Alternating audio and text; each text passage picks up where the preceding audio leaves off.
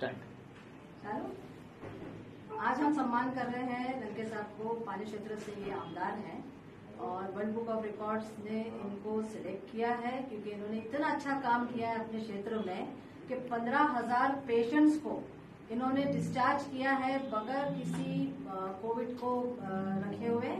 और कोई एक मौत वहाँ पे नहीं हुई। इससे सबसे बड़ी बात यह है कि वहाँ कोई मौत नहीं हुई है।